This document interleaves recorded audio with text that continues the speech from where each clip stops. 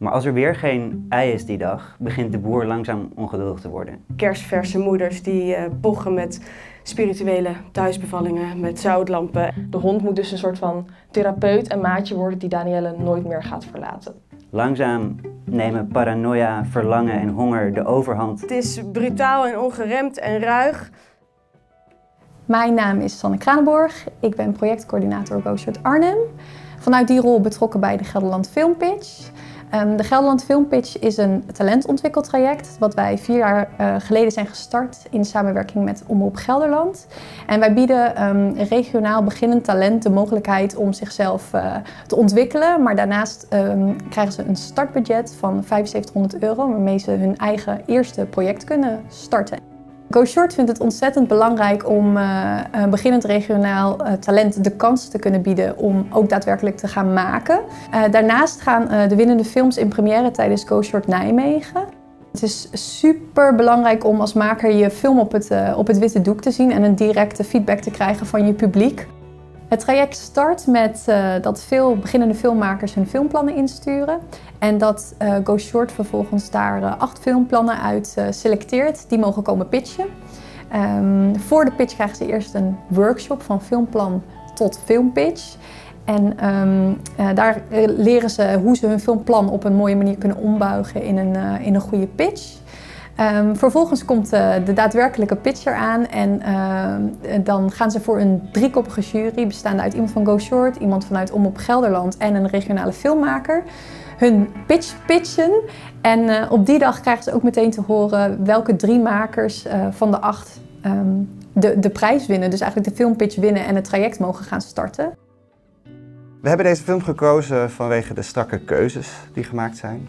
Vanwege aan de ene kant het simpele concept, uh, maar ook de mooie vormkeuzes. De aardappeleters. De aardappeleters.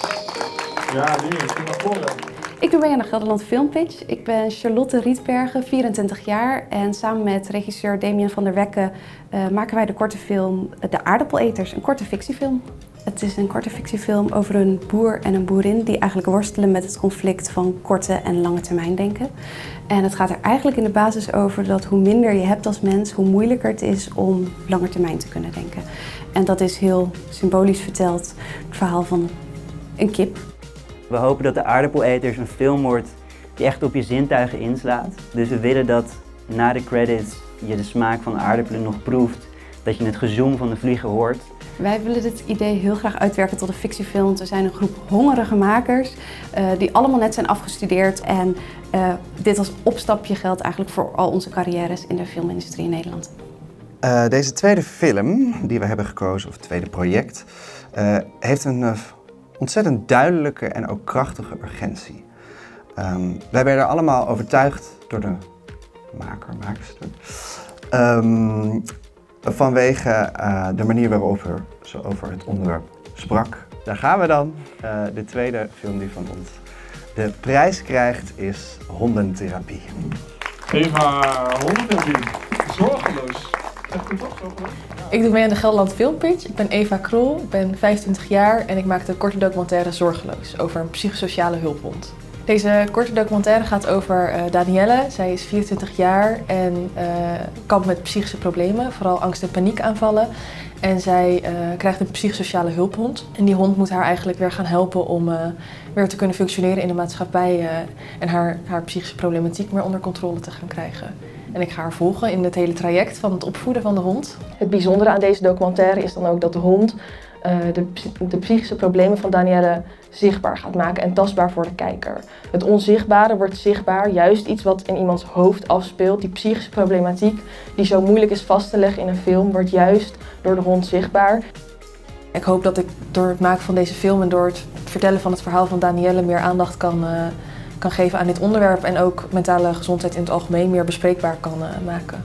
Wij zijn onder de indruk van de bevlogenheid en de passie en de ambitie van deze maker.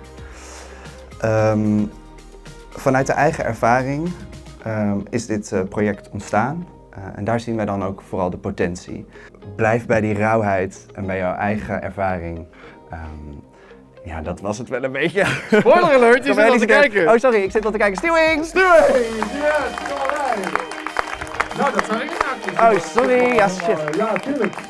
Ik ben Juliette van Ardenne, ik ben 38 jaar. Ehm, ik ben de regisseur van de film Stuwing, een korte psychologische thriller. Ik doe mee aan de Gelderland Filmpitch.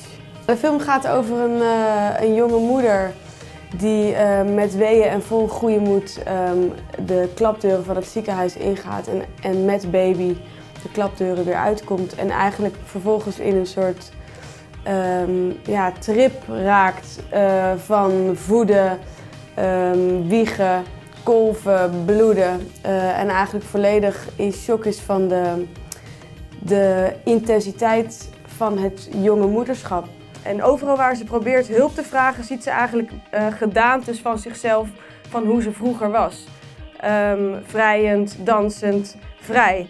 Nou, ik ben zelf zes jaar geleden moeder geworden en ik was eigenlijk eh, ja, heel erg geschrokken van ehm, wat er met je gebeurt, fysiek, maar ook eh, vooral geestelijk. Want je bent dan wel ehm, ineens moeder, maar je bent ook een soort van iemand nieuws zonder nog te weten wie dat is. Dus je verliest een soort van je identiteit, maar je bent nog niemand nieuws. Benieuwd naar het avontuur van Damien, Eva en Juliette en altijd al willen weten hoe je een film maakt? Abonneer je dan op ons kanaal en volg ons op social media.